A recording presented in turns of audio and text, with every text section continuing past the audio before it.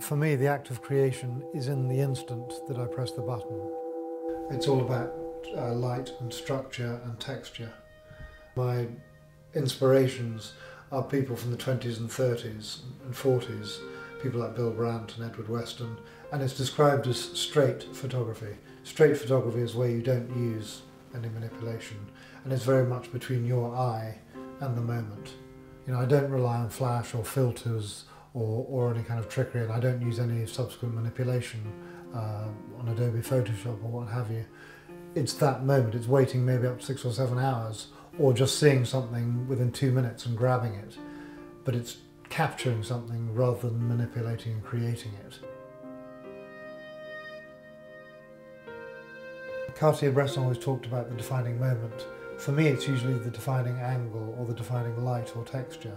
I always use natural light uh, or available light, whatever happens to be, whether it's the moon or, or a passing car's headlamp. But it's choosing that particular moment when the light is perfect. The books are, are, an entirely different discipline in that whenever one takes a photograph, obviously it's just one specific image. But in a book, you've got two or three hundred pictures that have all got to work together and tell a story.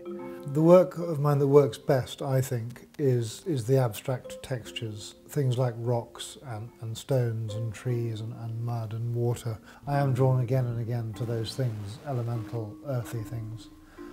And even in the most abstract terms, when you've got a, a macro, extreme close-up shot of a texture, within the tree bark or the rock or the log or whatever I'm photographing, there will be certain very, very strong shapes.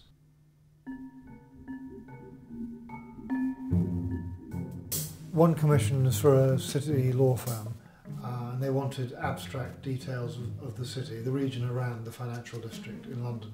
And that was a great brief because I'm often in Cambodia or Peru or Ghana. I decided to shoot quite a lot of them at night, um, which made the buildings look more eerie and more interesting. One of my favourite pictures, and the one they decided to, to make very large and put in their reception, I was the National Theatre. And from the end of Waterloo Bridge, got this wonderful angle with all these lines of the concrete.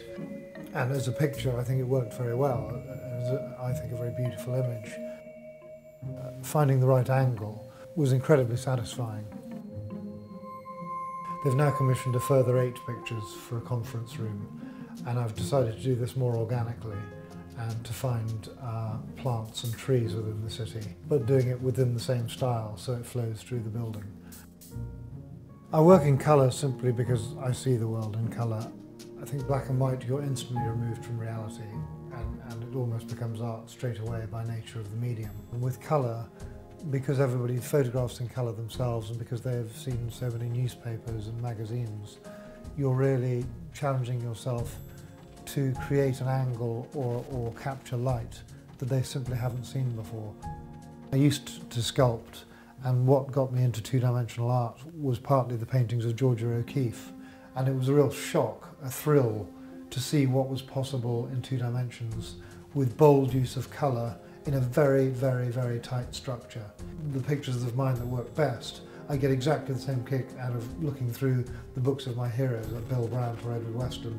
There's sometimes such a tight structure that the eye is literally led all around the picture and it doesn't sit on one, one object, but it moves around the picture and, and keeps the brain excited. And I think that's when the work works at its best.